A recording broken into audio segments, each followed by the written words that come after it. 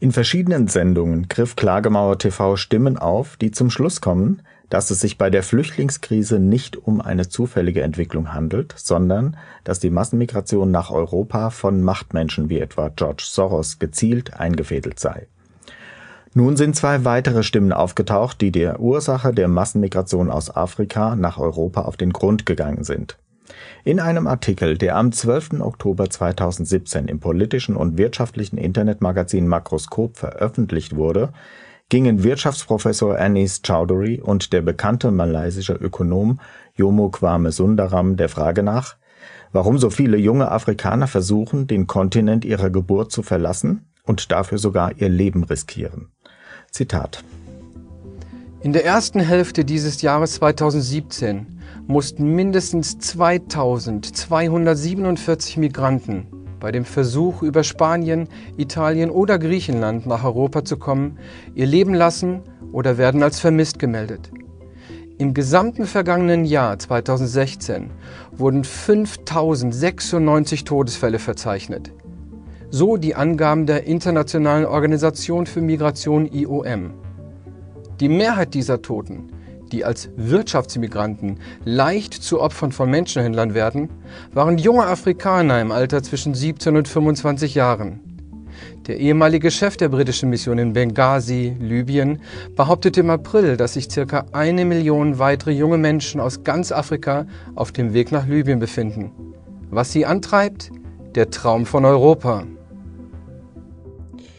Laut Chowdhury und Sundaram handelt es sich also bei den Flüchtlingen aus Afrika in der Regel um Wirtschaftsflüchtlinge. Diese sind nicht als Flüchtlinge im Sinne der Genfer Flüchtlingskonvention anerkannt und haben somit auch kein Asylrecht. Die beiden Autoren lassen dann auch keinen Zweifel offen, dass die Armut in Afrika der Hauptgrund für den Massenexodus nach Europa sei. Zitat Laut dem Weltbankbericht Poverty in Rising Africa stieg die Zahl der Afrikaner, die von extremer Armut betroffen sind, zwischen 1990 und 2012 um mehr als 100 Millionen auf nun etwa 330 Millionen Menschen an. Der Bericht reflektiert anschaulich, dass die Ärmsten der Armen der Welt zunehmend in Afrika konzentriert sein werden. Tatsächlich lebt heute fast die Hälfte der Bevölkerung des afrikanischen Kontinents in Armut. Zudem gelinge es in Afrika nicht ansatzweise, den großen Anteil 15 bis 24-Jähriger in der Bevölkerung mit Arbeitsplätzen zu versorgen. Selbst Südafrika, das Land mit der am stärksten entwickelten Wirtschaft aller afrikanischen Länder südlich der Sahara, habe eine Jugendarbeitslosenquote, die auf 54 Prozent beziffert wird. Dass Afrika jedoch zum einzigen Kontinent wurde, der in den letzten Jahrzehnten einen massiven Anstieg der Armut verzeichnete, scheint kein Zufall zu sein. Chowdhury und Sundaram sehen die Ursache für den massiven Anstieg der Armut in Afrika wie folgt. Ein Teil der Antwort liegt in dem Scheitern der früheren, meist von Westen auferlegten Wirtschaftspolitik. Viele Länder Afrikas mussten sich seit den 1980er Jahren den auf Liberalisierung und Privatisierung basierenden Strukturanpassungsprogrammen SAPs unterwerfen. Die Weltbank, die Afrikanische Entwicklungsbank und auch die meisten westlichen Geldgeber unterstützen die SAPs. Und das, obwohl die UN bereits damals vor den negativen sozialen Konsequenzen warnte. Als Strukturanpassungsprogramme werden wirtschaftliche Maßnahmen in Ländern der Dritten Welt bezeichnet, die vom Internationalen Währungsfonds IWF und der Weltbank als Bedingung für die Vergabe von Krediten verlangt werden.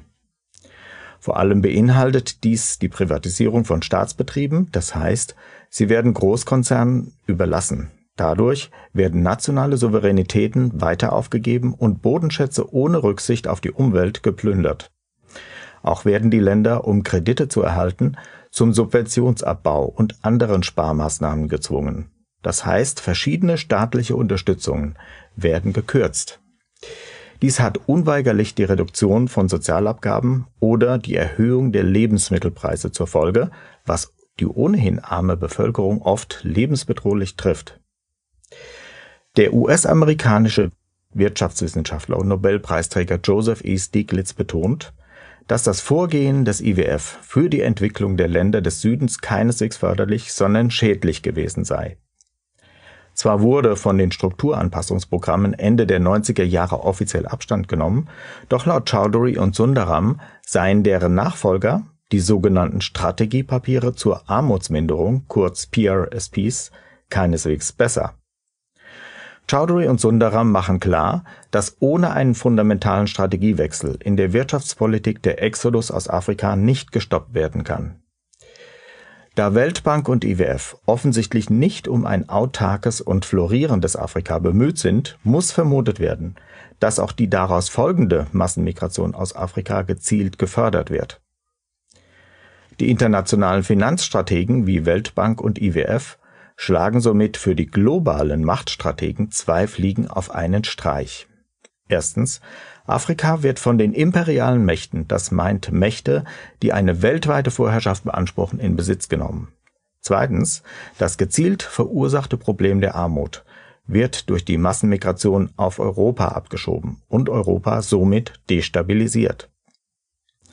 Auf diese Weise soll sich auch der europäische Kontinent irgendwann völlig erschöpft in die von globalen Machtstrategen geplante neue Weltordnung einreihen lassen